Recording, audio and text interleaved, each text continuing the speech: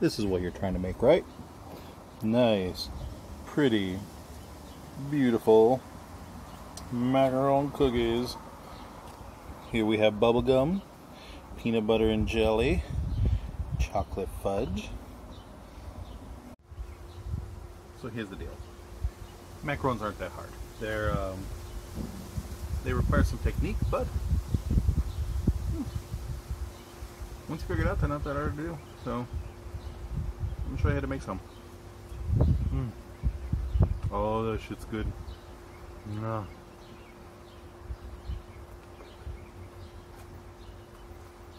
Mmm.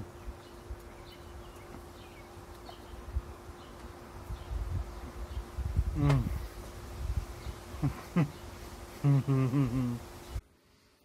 oh, hi there. I've been asked to make a video on how I make my macarons, so why not? They're not as complicated as people think. Uh, everyone always says they're super tough, and it took me a while to figure it out, but once you figure out the technique, pretty easy. So we're going to make some today.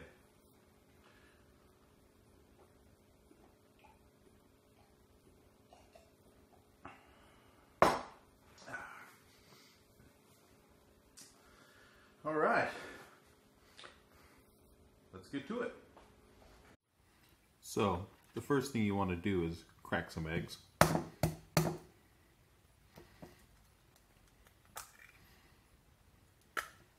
Separate out your egg whites. Super easy.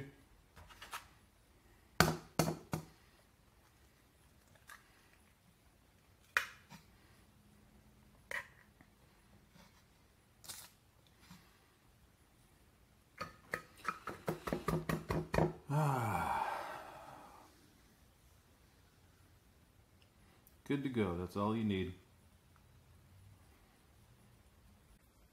So, as you can see, I'm very carefully measuring. You want 140 grams. No more, no less.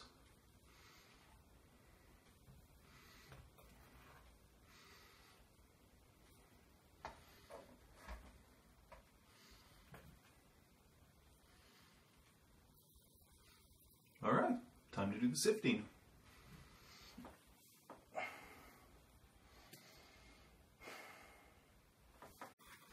Oh, hello.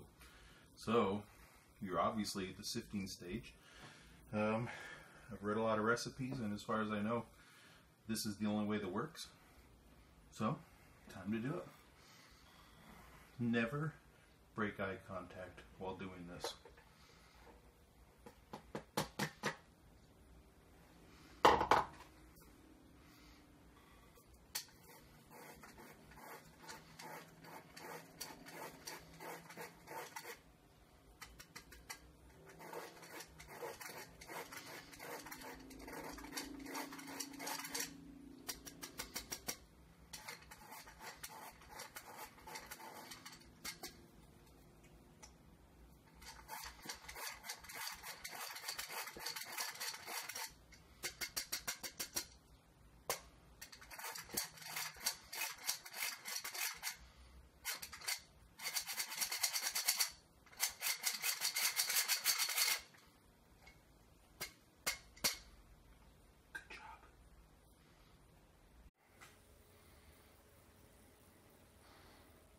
You know to cook with weight, not volume, right? Use grams, not cups. 144 grams powdered sugar, 144 grams almond powder, and I'll give you the rest of the measurements. You're not going to remember anyway. You're not even listening to me, but eh, let's do it. Alright, first you add 50 grams of fucking eggs to the fucking almond powder and powdered sugar. Then you add 50 fucking grams of eggs to your beater.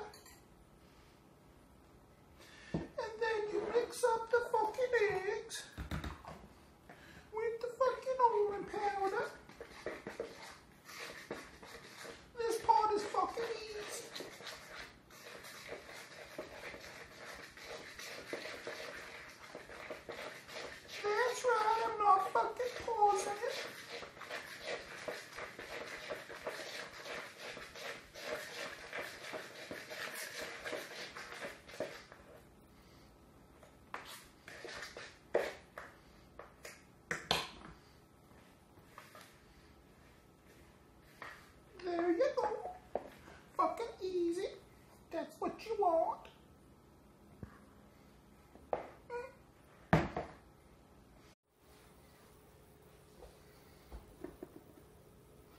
All right, I actually want to be serious here for a second because this is important. We have the eggs in the beater, in the mixer. So, you're going to get your eggs going. And this is the most critical part that you absolutely have to do. So what you're gonna do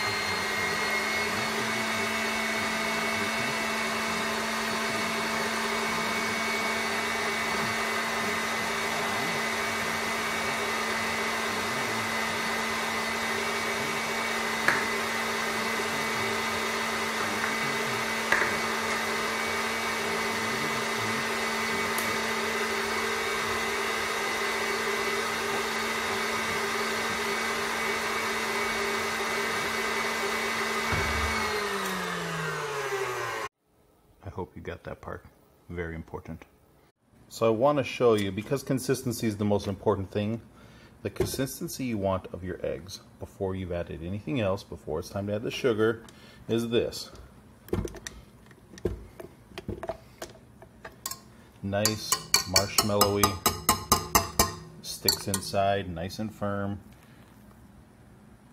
like that here's something I didn't know, and it fooled me for a long time. You absolutely cannot use pasteurized egg whites. The ones that come in a box, you can't use it. You have to use actual egg whites. With the candy, don't mix it. Just get your temperature. Leave it as is. You're making candy. You're actually going to end up making marshmallows. That's what the meringue ends up being, basically.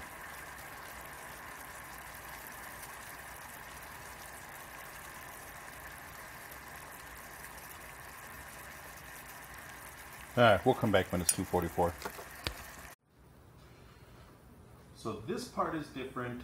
This is the difference between Italian macarons and French macarons. French, you add the sugar into the bowl, you mix it up, they never work out, you want to kill yourself after about 50 times, and uh, you look up videos of 12 year old kids doing that on YouTube and getting it perfect uh, the first time. So that is why I don't recommend French.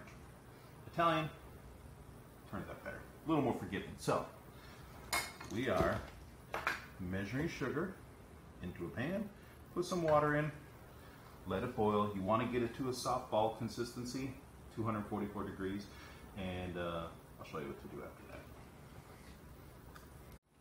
So now that we have the sugar and water mixture getting ready to boil, we're going to let that get up to 244. Or if you don't have a thermometer, drop a little piece in some ice water. If it makes a soft ball that's the stage you're looking for because it's basically uh, you're basically making candy. You're making marshmallows. Now while that is going that is almost the perfect amount of time to mix your eggs. So we're gonna let this whip and while that's cooking up uh, it'll be good to go. All right we are at 244 which means we are at the candy level. So it is time to mix it in. So turn it on low because you don't want to splash stuff everywhere and slowly start pouring it in the side of the bowl.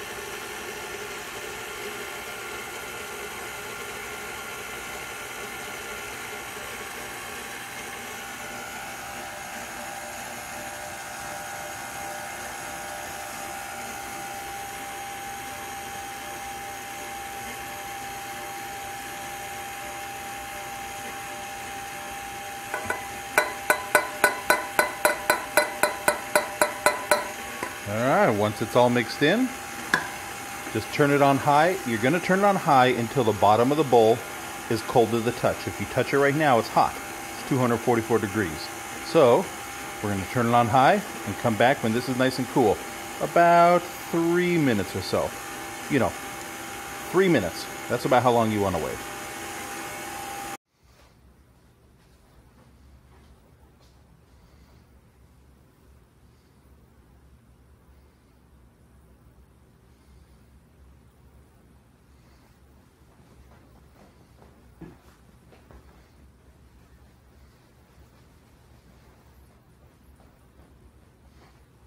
Okay. So, you mix up your batter.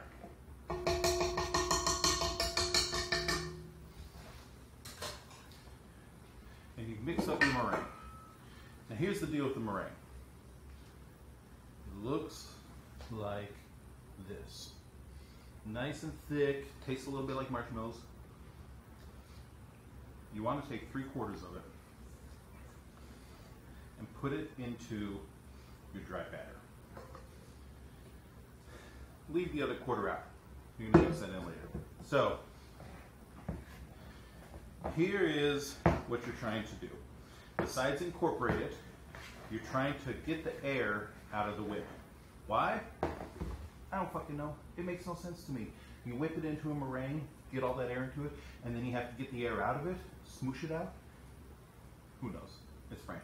Well, this one's Italian. But who the hell knows? I don't know. All I know is you end up with little piles of shit if you don't get the air out. So, mix it around, smush it down the middle. Mix it around, smush it down the middle. Mix it around, smush it down the middle. Turn the bowl, make sure you're getting it all nice and good. Once it's pretty well incorporated, which it is not yet at all, and you want about 80% incorporated. So, as you can see, there's still chunks of marshmallow left. It kind of falls off in chunks. No biggie. Now's where you mix the rest in. I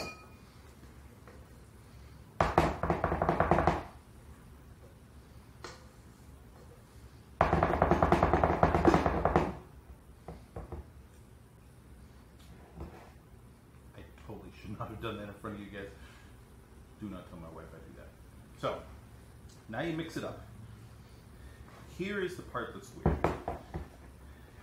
You're going for consistency. There's really no good measure of time, number of strokes through the bowl, number of times you mix it up. You want to incorporate it well. Make sure there's no chunks of batter because that almond flour will get a little chunky if you're not careful. Here's the trick I learned. It's better to undermix than overmix. If you overmix, it flattens out. You end up with no feet. It cracks. It gets hollow. It's just shitty all around. Don't overmix. But how do you know what is overmixed? And what is the perfect mixture? If you read online, all the guides will tell you you want a nice flow. You want it to be like lava. A nice lava flow. Here's the issue with that shit. When's the last time you saw lava? Hmm? I haven't. I don't know. I don't fucking know what lava flows like. So I guess I was like, that looks like a lava flow. I uh, I saw some Disney movie sometime back that had lava in it, and I uh, I think that's it. I don't know. No one knows what lava really flows like. So anyone that says that is just copying some bullshit that some person said at some point. Here's what you want. You want it to be incorporated enough that there's no chunks. But remember, it's a cookie. When you're cooking it, when you're baking it, all that stuff is, most of the imperfection is going to bake out. You want it to be thick enough to hold up its shape, to get a nice firm texture when you leave it out to dry, but you don't want it to be so loose that it just falls apart. If you've incorporated it and there's almost no chunks, you're fine. It's better to undermix. So I don't even worry about lava. Here's what I worry about. See this where it falls off? Hmm. That's fine. Every tutorial on the internet will tell you it's not fine. I make beautiful macarons with that consistency. In fact, let's do that right now.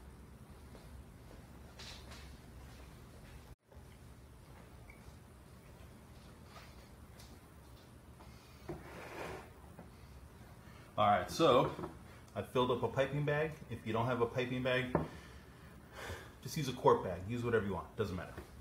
Also, because I need the macarons to be kind of similar size, but I'm bad at eyeballing it, I just on the back side drew circles. Okay, that other one was the back side. So, on the back side, I drew circles. I just traced them around a shot glass, and there you go.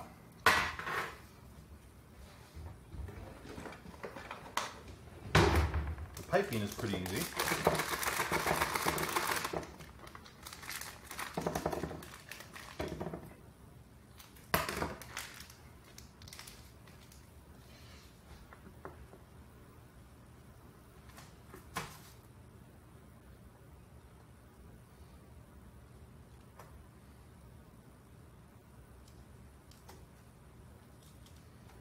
You want to get it close to the size of the circle it's going to expand a little, but since you undermixed it, it's not going to expand a ton.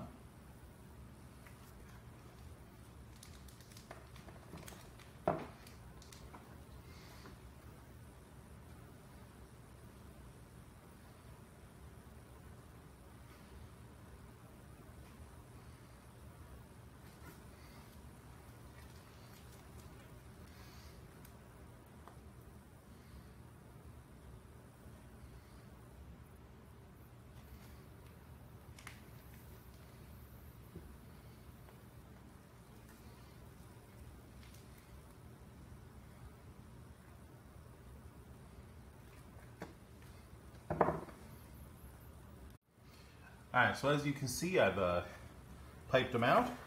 Now you want to get the air bubbles out. Drop it, you know, six, ten times, whatever. Just get some air bubbles out.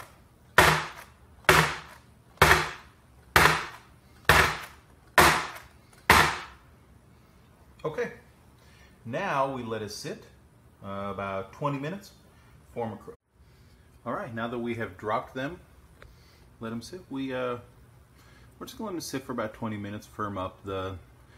I tried it without. I tried just putting them in, and they never form a foot. So I'm guessing the chance to sit and build a kind of uh, skin on top of it really matters. Use this time to preheat your oven. So I'm set the oven for 300, and I'm going to turn the timer off for 20 minutes. Pop these bad boys in. See you in a few. All right, so they've been uh, resting for about 18 minutes, and if you get close, you can see that when you touch them, there's a slight film. Nothing comes off on my finger. I think we're ready to bake them. 300 degrees, 16 to 18 minutes. I prefer 16. 18 is a little tough. Let's put them in. Oh man, look at that. Is that pretty or what? Now, admittedly, there's a few that didn't come out the best. The foot's a little uneven. To be honest, I probably undermixed it a little bit. I'll be the first to admit my fuck ups. But overall, not bad at all. Mix it a tiny bit more than I did. You're good to go.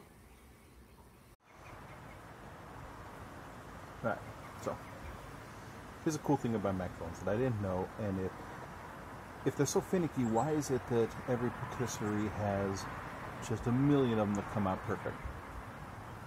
Uh, the answer is that macarons need a few days to rest. No matter how good they are when they come out, no matter how hard they are, no matter how burnt, no matter how whatever. Put them in a Tupperware container, lined with parchment paper between the layers, and let it sit on a counter for two to three days. That's really going to soften it up a lot. What happens is the moisture and humidity. Oh, oh. Hey there, little lady. Who's my girl, huh? Who's my girl? Come here. Who loves you, daddy?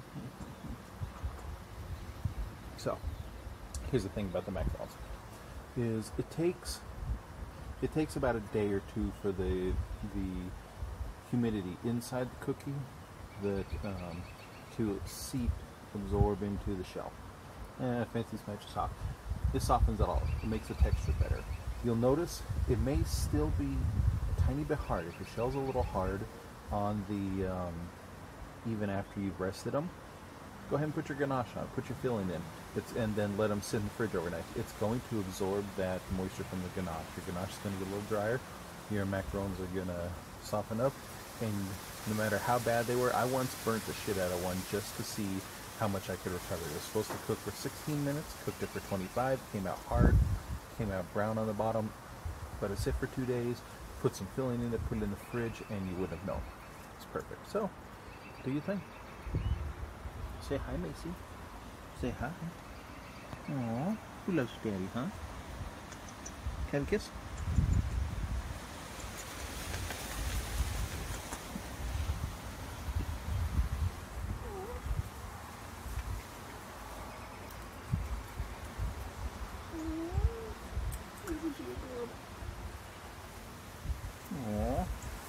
You guys can turn off the video anytime now. I'm just going to be playing with for a little while.